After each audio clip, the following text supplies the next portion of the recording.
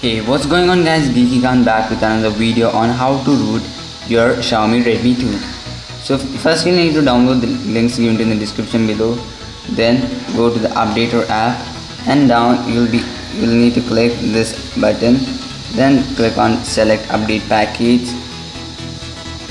And here you'll be able to see the file explorer. Just navigate to wherever you have placed the file placed in my routing folder. So you'll get two of the files like this. So one is for rooting and the other is for unrooting so the second file I guess. And here you can see that it is root ina that's enabled. So we'll just select that and click on update here. And we'll click on start update. You must back up if you need this and this will start to root your Xiaomi Redmi 2 and this will reboot.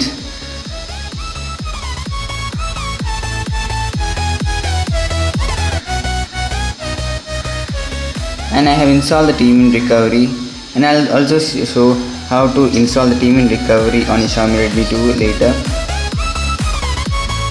It's just simple. You need not need any TWRP that's team and uh, recovery. You just need the stock MIUI recovery.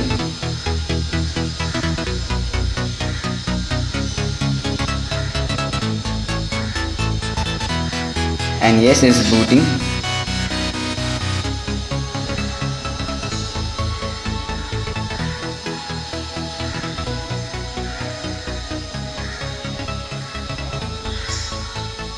And yes it has booted up and will swipe to unlock.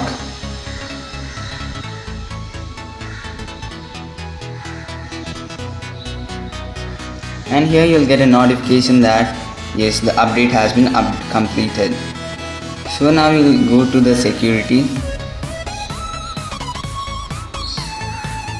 Go to the permissions. And here you'll be able to see that allow apps to get root permission. Just enable that click on ok and here you can monitor the root applications. Whenever you any open any root application you can just add them there. It will be automatically added.